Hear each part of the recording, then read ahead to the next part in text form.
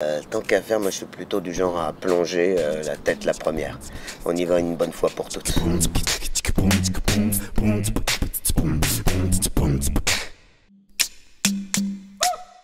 Je sors de ma, de ma zone de confort en étant avec euh, et en jouant avec d'autres personnes en situation de, de handicap et où on est dans l'autodérision sans, sans, sans limite. Moi j'ai pas trop de limites me concernant, mais on sait jamais quelle est la limite de l'autre. Donc c'est bien, ça bouge un peu, ce qu'elle veut dire, ça bouge un peu les lignes.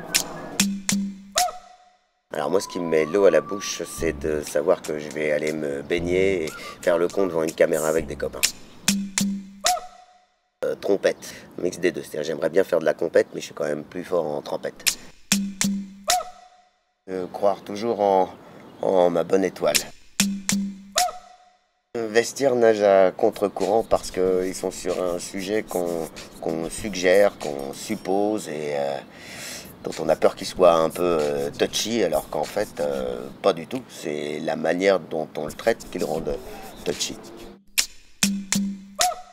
Ne pas savoir justement où, je mets, où je mets les pieds, si je vais dans, dans une mare ou dans une rivière pleine de crocodiles ou si je suis avec des dauphins. Ma technique pour noyer le poisson, c'est, l'humour, Dé- dégonfler, dédramatiser toute situation qui pourrait être euh, un peu tendue, dire clairement les choses, mais aussi euh, avec un petit peu d'humour, ça passe toujours mieux.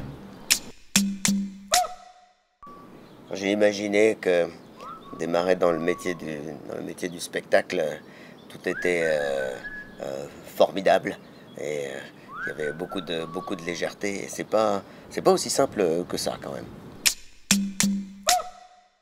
Ah ben Andy est valide, on est tous et on sera tous dans le même bain quand, euh, quand on sera tous à l'unisson d'un, même projet comme celui de Vestiaire, de réaliser quelque chose de court, bref, drôle.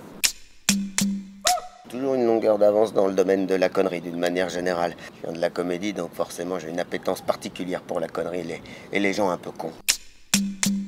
Faut jamais avoir peur de faire euh, des vagues quand on traite euh, un sujet qui peut paraître euh, pas forcément évident à aborder pour le grand public, comme, bah, le sujet du handicap, alors qu'en fait on se rend compte que c'est un sujet universel qui touche bien plus de personnes qu'on pourrait l'imaginer.